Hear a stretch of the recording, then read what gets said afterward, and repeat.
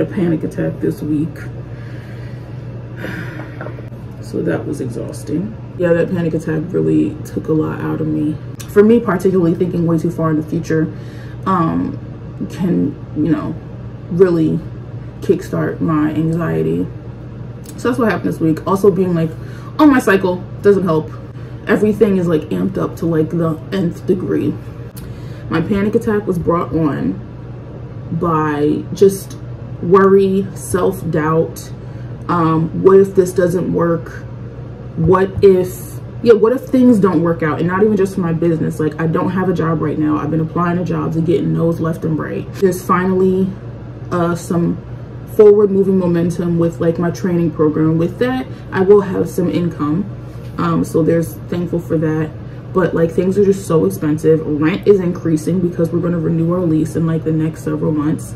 And that, you know, information came through. So that is sort of what like hit it for me. Um, was sort of like the straw that broke the camel's back. And I mean, like, I never actually, well, I don't know. I never actually feel like nothing's gonna work or I don't feel like I'm gonna be left like out in the dust but um it's always just like how is it going to happen? It's always the how because i'm a planner and i have always like for all of my life i've already know i always knew what was going to come next. And the unknown is very scary. The unknown is very scary and so that's sort of that's definitely what and i also had to like get out of the house and go to uh, like a doctor's appointment and I was very, very hot. I'm like, the older I'm getting, like heat, I'm just like, I, I have like a heat intolerance. I feel like it was very hot. Um, I had to get out. I was like being on my cycle, you know, I'm, I'm, having cramps and I'm tired and I'm literally having mood swings. Like it's, it's so much happening. Everything was just compounded on top of one another. And it was just like, I got in the car and I was like, I'm an hour early so it's like I was rushing for nothing and that just really did it for me and panic attack set right in. Um, so I came back in to get water because I was going to take my um, Xanax to, you know, help with the panic attack, but I didn't have water. And the last time I did that, the last time I took Xanax without water, it fucked up my esophagus and I was in so much pain. So I came back up and then my boyfriend, he was like, what is going on? He's like, maybe you need to call and tell him you need to reschedule and sometimes I feel like I need permission to make space for myself. That's something that I really, really need, or make decisions that are better for myself. I really need to do better at that, and I'm, I have gotten better, way better at that now. But when I'm in the the midst of anxiety and panic, it's like logic and reason and common sense kind of just like goes out of the door, and I default into um, doing what I'm supposed to do. You know, it's like I'm expected for this doctor's appointment. I have to go that happened and I've been tired ever since. So yesterday was mostly a sleeping day. What also can worry me and give me anxiety is like, you need money, you get a job. Like that's the point blank. But like understanding my disability because being neurodivergent is a disability just like needing glasses is a disability it may not seem we hear disability we think like being extremely disadvantaged in a physical or health wise, whatever, but it's, it's a disability because things are difficult because of it. And not because of it, because the world doesn't make space for you to be that.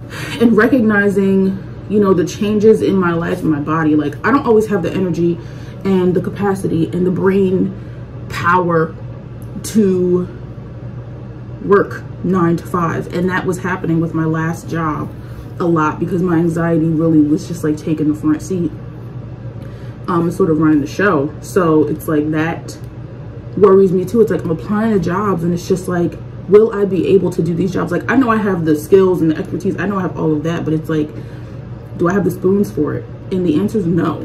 And then that's like, well, then I really need to make this entrepreneur journey really take the fuck off. Like it needs to be my main source of income um, as opposed to, you know, a job. And that's very blanket. Like of course there's nuance. Like there's some jobs that probably won't require so much of me but it's like i have to work on their time. They can't work on my time. But in my business with running my own business i work on my own time. I set my own time. I set my own everything.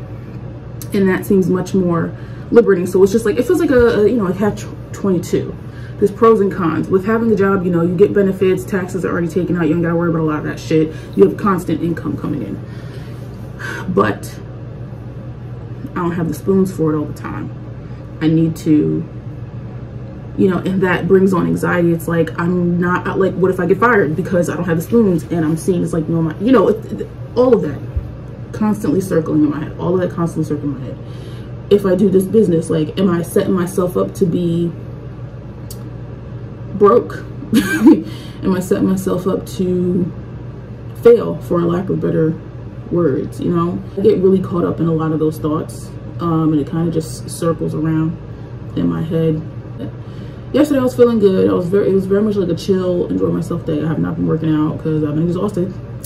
Um, I would like to do something today, like go for a walk or maybe go swimming, but I don't know, I'm tired. The only thing that I really want to kind of do is write.